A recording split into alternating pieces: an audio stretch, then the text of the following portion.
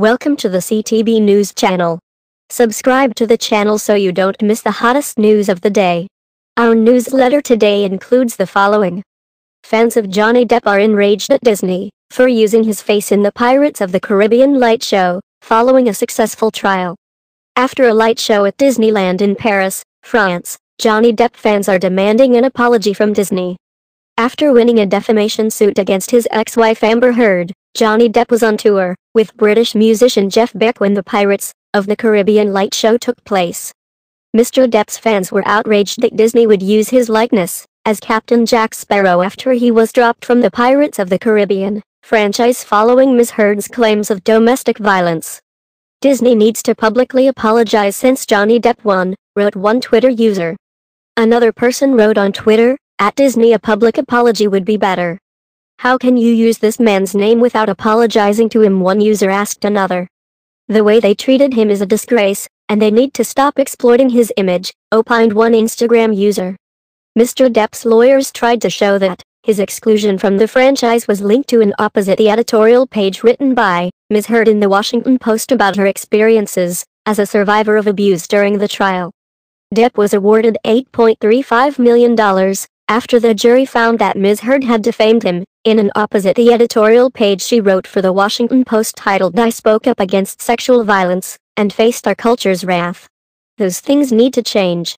Even though Ms. Heard didn't specifically mention Mr. Depp by name, he maintained that the implication that their marriage was being referenced was clear and that he had lost movie roles as a result of that. An ex-talent agent for both Johnny Depp and Amber Heard testified in court that he believes Ms. Heard's allegations cost Mr. Depp the role of Captain Sparrow in the Pirates of the Caribbean series' sixth installment. His off-screen reputation would have suffered the most from Amber's allegations, in my opinion. Christian Carino, who began working for Mr. Depp in late 2016, said during the trial in April, I'm not talking about any one specific accusation. According to Mr. Carino's response, Ms. Heard's lawyer did ask the actor if he has lost any film roles because of Mr. Depp's employment with him in the past. I think so, he replied. Pirates of the Caribbean v. Mr. Depp has played Jack Sparrow in five previous films, and he believes he was passed over for the sixth due to Ms. Heard's allegations of abuse. According to him, this belief is based in part on conversations he has had with people in the film industry. Jerry Bruckheimer, the producer of the film Pirates of the Caribbean, had told him that Disney was having trouble getting Johnny Depp on board. No, not specifically, but it was understood, Mr. Carino said when asked by Ms. Heard's legal team whether Mr. Bruckheimer had explained why Disney had issues with employing Johnny Depp, adding that he didn't ask, because he didn't feel the need to.